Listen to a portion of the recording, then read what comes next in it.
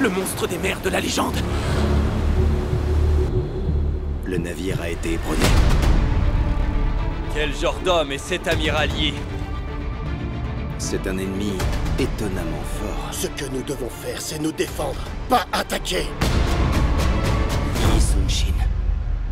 Dites-moi, amiral, quel est votre plan de bataille? Ce sera la fin de notre conquête de Joseon. Une barrière sur la mer, c'est absurde. Je préfère aider à défendre la forteresse de Jeonju. Est-ce que la formation en aile de grue va nous assurer la victoire? Tous les navires à la guerre. À tous les navires À l'abordage Cette guerre, quel est son but? C'est une bataille des justes contre les injustes.